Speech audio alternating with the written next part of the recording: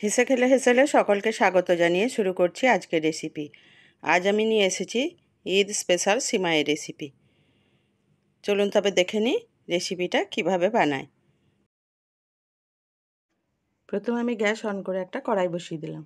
কড়াই গরম হলে দিয়ে দিলাম দু চামচ ঘি। ঘি দিয়ে কিছুটা কাজু বাদাম আর কিছুটা কিশমিশ ভেজে নেব। প্রথমে কাজু বাদামটা একটু নেড়ে নিচ্ছি। এরপরে কিশমিশটা দিয়ে দিচ্ছি। কাজু কিশমিশটা আপনারা আপনাদের প্রয়োজন অনুযায়ী কম বেশি করে নিতে পারেন। এইভাবে একটু ঘিয়ে ভেজে নিলে কাজু কিশমিশটা খেতে বেশ ভালো লাগে।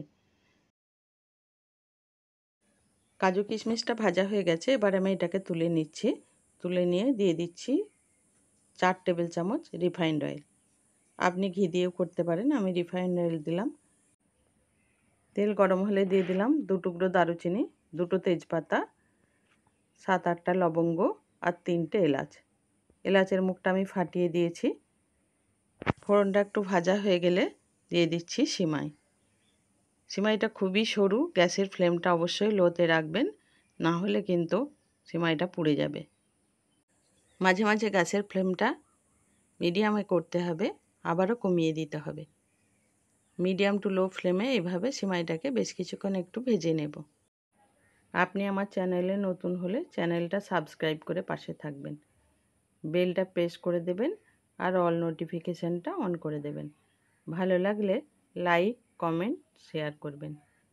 এইভাবে একটু নেড়ে নেড়ে সিমাইটাকে দিতে হবে, যেন প্রতিটা সিমাইয়ের গায়ে তেলটা লাগে আর প্রতিটা সিমাই যেন গরম হয়। এই সিমাইয়ের পোলাও কিন্তু তেলের পরিমাণটা একটু বেশিই দিতে হবে। এখন আমি দিয়ে দিচ্ছি তিন চা চামচ ঘি।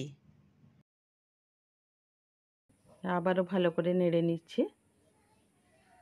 খুব ভালো করে সিমাইটাকে ভাজতে হবে। যেহেতু গ্যাসের ফ্লেমটা মিডিয়াম টু লোতে আছে, সেই জন্য টাইমটা একটু বেশিই লাগবে।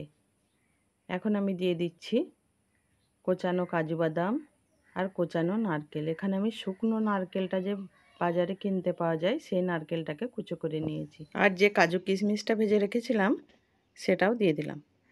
আবারও নেড়ে একটু গরম করে নেব। আর দিয়ে দিলাম কিছুটা ভেজে নেওয়া পেস্তা। পেস্তাটাকেও আমি কুচো করে ঘিয়েতে ভেজে নিয়েছিলাম। দিয়ে আবারও কিছুক্ষণ নেড়ে চেড়ে ভেজে নেব। কাজু বাদাম, কিশমিশ, নারকেল, এগুলো দেওয়ার পর খুব বেশিক্ষণ ভাজবো না। তিন চার মিনিট একটু নেড়ে নিয়ে দিয়ে দিচ্ছি চিনি। যেহেতু সিমাইটা খুবই সরু সেই জন্য আমি চিনিটাকে গুঁড়ো করে নিয়েছি। এক কাপ গুঁড়ো করা চিনি দিলাম। দিয়ে এবার আরও একবার চিনিটাকে দিয়ে নাড়াচাড়া করে ভালো করে সিমাইয়ের সঙ্গে মিশিয়ে নিচ্ছি। এবার দিয়ে দিচ্ছি এলাচের গুঁড়ো। এলাচটাকে একটু গরম করে ভালো করে গুঁড়ো করে নিয়েছি। এলাচের গুঁড়ো আর চিনিটাকে দিয়ে খুব ভালো করে মিশিয়ে নিচ্ছি। এলাচের গুঁড়ো আর চিনিটা ভালো করে মেশানো হয়ে গেলে দিয়ে দিচ্ছি এক কাপ দুধ। এখানে একশো গ্রাম মতো সিমাই আছে সেই জন্য এক কাপ দুধ দিলাম। হাফ কাপ করে দুবার দিলাম, এক কাপ দুধ দিয়েছি। দিয়ে খুব ভালো করে মিশিয়ে নিচ্ছি, খুব ভালো করে মেশাতে হবে যেন প্রতিটা সিমাইয়ের গায়ে দুধটা লাগে। গ্যাসের ফ্লেমটা আমি মিডিয়াম টু হাইয়ে করে দিয়েছি। এই সিমাইটাকে নেড়ে নিচ্ছি।